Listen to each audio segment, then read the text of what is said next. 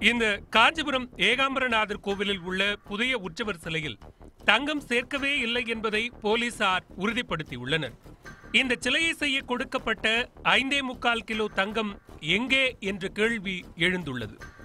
அமெரிக்க நாட்டில் தயாரிக்கப்பட்ட PMI positive image identification positive metal identification என்ற எலக்ட்ரானிக் கருவி மூலம் அந்த சோமஸ்கந்தர் சிலை மற்றும் ஏலவார் குழலி ஆகிய சிலைகளை பரிசோதனை செய்தார்கள். பரிசோதனையில் அந்த சிலைகளில் எள்ளளவு கூட தங்கம் இல்லை என்பது கண்டுபிடிக்கப்பட்டுள்ளது.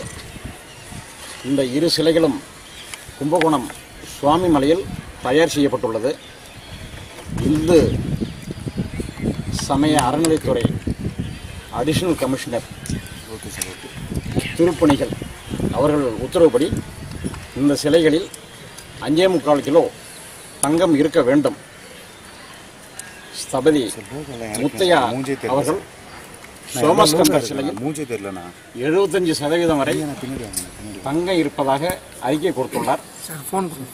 இந்த பரிசோதனை மூலம் அவர் சொன்னது பொய் என நிரூபிக்கப்பட்டுள்ளது.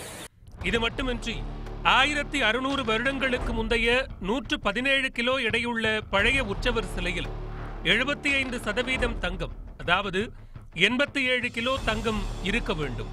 ஆனால் ஒரு சதவீதம் கூட தங்கம் இல்லை. இந்த விவகாரத்தில் அறநிலையத்துறை அதிகாரிகள் உட்பட எட்டு பேர் மீது சிலைகள் கடத்தல் தடுப்பு பிரிவு போலீசார் ஏற்கனவே வழக்கு பதிவு செய்துள்ளனர்.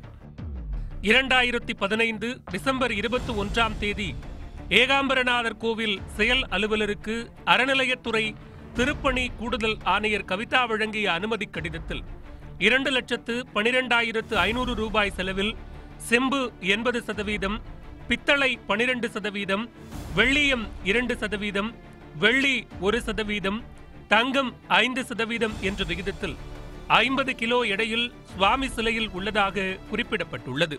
மேலும் ஏலவார் குழலியம்மன் சிலைக்கு தங்கம் ஐந்து சதவீதம் கலப்பில் அறுபத்தி ஐந்து கிலோ எடையில் செய்யலாம் என இரண்டாயிரத்து பதினாறு மார்ச் ஒன்றாம் தேதி அனுமதி கடிதம் வழங்கப்பட்டுள்ளது. இதையடுத்து புதிய சிலை செய்வதற்கு பக்தர்கள் தங்கம் தரலாம் என்ற அறிவிப்பை கோவில் நிர்வாகம் வெளியிடுகிறது.